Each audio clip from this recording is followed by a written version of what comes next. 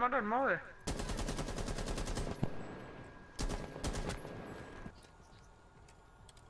Nur noch ein Gegner.